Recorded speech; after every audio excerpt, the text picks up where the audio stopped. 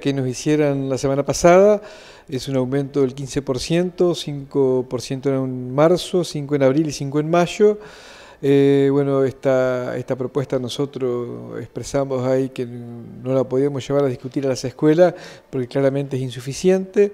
Nosotros venimos planteando en las dos audiencias que tuvimos que necesitamos recomponer el salario del 2018, esos 14 puntos, casi 15, este, que quedó abajo nuestro salario respecto a la inflación, es una condición necesaria para, para en esta discusión salarial. Eh, quedamos en un próximo encuentro, cuarto intermedio para el próximo martes, o sea, para mañana, a las 18 horas, donde, bueno, esperamos que en esa reunión este, la propuesta sea superadora de la que hemos recibido la, semana pasada. De no ser una propuesta superadora, podría haber medidas de fuerza.